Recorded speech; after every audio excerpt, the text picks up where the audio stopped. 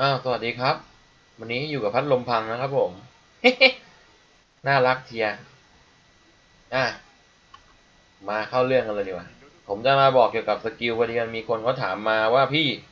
แมวมัน macro ยังไง แล้ว skill ใช้ยังไง อันนี้เป็นแบบของผมนะ คนอื่นมันจะยังไงอันแล้วแต่ถ้าใครแบบว่าเจ๋งกว่าผมหรืออะไรก็ตามนั้นเลยแต่ของผมอะใช้แบบนี้นะ นี่คือแผง skill แล้วก็ macro macro ผมตั้งคลิกซ้ายคลิกขวาเลขหนึ่งแล้วก็ F ซึ่งมันทำงานได้ดีเพราะว่าจากที่ลองแล้วอะ มันไม่ต้องมานั่งกดเองมากอะ แล้วมันก็ทำเอ่อทำ damage ได้ต่อเนื่องด้วย ผมเล่นอย่างนี้นะ แต่คนอื่นยังไงผมไม่รู้ แล้วแต่ไปลองดู ลองเอาไปลองยิงดูกันแล้วกัน อธิบายก่อน skill นี้กับ skill นี้สองอันเนี้ย มันเป็นทีเด็ดของไอตัวนี้เลย skill เนี้ยผมไม่สามารถทำให้ดูได้ เพราะว่า เอาง่ายๆอะ เมื่อคุณเคาน์เตอร์อะความแรงที่คุณจะยิงอะจะเท่ากับ skill นี้ ดังนั้นเวลาคุณสู้จริงอะคุณต้องใช้ท่านี้สลับกับท่านี้นะอ่าแต่ว่าอันนี้มันไม่มีมอนโจมตีผมก็เลยใช้ให้ไม่ได้ แต่ว่าเดี๋ยวผมจะใช้อันนี้ให้ดู ว่าเป็นยังไงเวลาใช้เนี่ย damage มันจะขึ้นมาขนาดไหน แล้วก็ skill ผึ้งอันนี้ทำไมผมถึง up อันนี้ เดี๋ยวต้องมีคนถามว่าเนี่ยเวลาผม up อะ มันจะชาร์จหลอดเนี่ยเนี่ยดูนะ เนี่ยอย่างเงี้ยนะ เนี่ย แล้วผมถามว่าจะทำยังไงให้มันให้มันยิงได้เลย อะผมทำให้ดูใหม่ เห็นนะ อะเห็นนะทำไมผมทำได้ดู อะเนี่ย เห็นนะ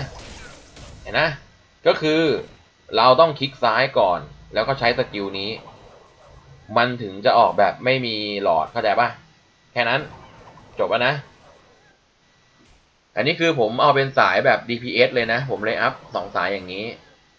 เวลาลงมูชินหรือลงอะไร หรือว่าต้องการลงมอนที่เราแบบจบไวๆอะ อะ ทีนี้มาลองดูเลย macro ว่ามันใช้ได้จริงหรือเปล่าไอ้ลูกมานี่ลูกไปตีตัวนี้ เออเดี๋ยวพ่อจะตีตัวนี้ ถ้าเป็นผมเล่น ผมมาใช้ F สลับกันเพราะว่า F เนี่ยมันจะรีคีนะครับ เนี่ยท่าเนี้ย เห็นป่ะครับ คือท่าเนี้ย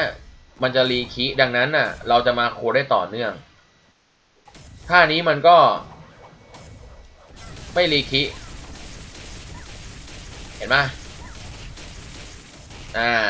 แต่ผมอาจจะไลจะใช้สลับกัน แต่ว่าในขณะที่เราใช้ท่าเนี้ย สังเกต damage ป่ะครับเมื่อกี้ damage มันจะแรงมากนะ เวลายิงผึ้งอะ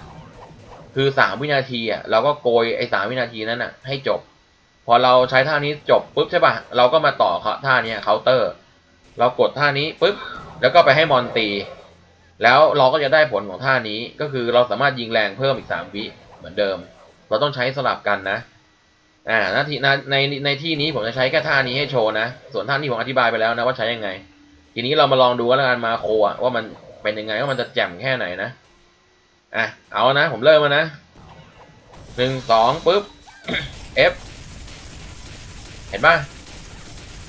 พอวง F หมดปุ๊บ ผมกดท่าสามต่อเลย ดู damage แมวอะ เนี่ยมันก็จะขาดขาดอย่างเงี้ย มันจะขาดไปเพราะว่ามันจะ re re ไม่ค่อยนี่ เพราะว่าท่า F มันหมด แต่เดี๋ยวพอดูท่า F มาเราต้องหาจังหวะยิงเอานะครับผมท่าสองก็กดด้วยนะ เพราะว่าท่าสองแรงนะครับ อ่า ก็ประมาณนี้ครับ ส่วนท่าสามเนี่ย ดูนะ ถ้าผมกางท่าสามอะ ดู damage ดีๆนะ เห็นปะ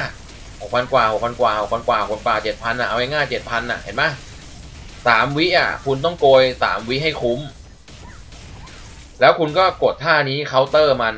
เนี่ย ให้คนให้มอนตีพอตีปุ๊บอะตัวก็คุณก็ยิงได้ต่อเลย ก็คือจะยิงได้สถานะเหมือนท่านี้เลยครับ แค่นั้นเอง เนี่ยแหละ macro แมวก็ประมาณนี้แหละ เห็นปะล่ะมันสะใจดีอะ damage อะแล้วก็กลางท่าสามต่อ เนี่ย เห็นปะดู damage เดโอเค จบไปนะ ทีนี้สำหรับคนที่ยังไม่รู้ เวลาแมวหมอบเนี่ยปุ๊บเห็นไหมแล้วพอมันลุกขึ้นมาเนี่ย มันจะติด cooldown อยู่แป๊บหนึ่ง เราไม่สามารถหมอบได้บ้านเนี่ยดูเด็หมอบไม่ได้นะปลดแล้วเนี่ยรัวๆเลยหมอบไม่ได้ ทีนี้ผมจะมาสอนวิธี reset แมวนะสำหรับคนที่ยังไม่รู้นะ ต้องบอกตรงนี้ก่อน กด Q ปึ๊บหมอบใช่ไหมแล้วทีนี้พอดีเราแบบว่าไอ้เหี้ยแม่งมือลั่นอะ ดันไปกดแม่งตีอย่างเงี้ยแล้วมันหมอบไม่ได้เนี่ยเห็นปะกด E เลยปึ๊บเห็นปะกด E ปุ๊บแมวจะ reset มันจะ reset ท่า Q ทันทีท่า E ของแมวครับ ถ้าเรียกแมวกลับอะ อ่า มันจะ มันจะ reset skill ครับผม อะทำให้ดูอีกที กด Q ไป ปึ๊บ